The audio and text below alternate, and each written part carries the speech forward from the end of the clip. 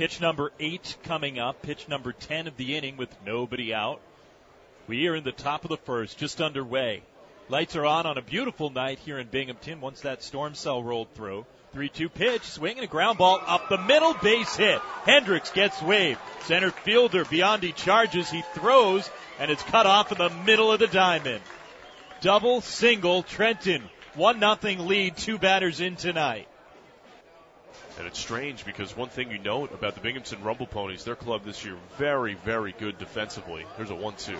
Swing and a fly ball. This one well hit toward the alley in right center field. Biondi is back at the warning track. He leaps at the wall and can't make the catch. Estrada's around second. He's headed for third as the right fielder Kaczmarski fires it back toward the infield. And Thairo Estrada is at third base and on his behind with his back against the wall is the center fielder Patrick Biondi.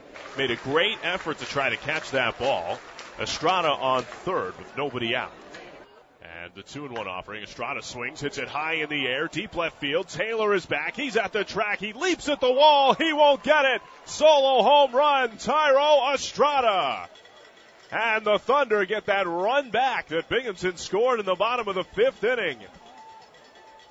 The seventh time that Estrada circles the bases here in 2017. And it's an 8-6 Trenton Thunder lead.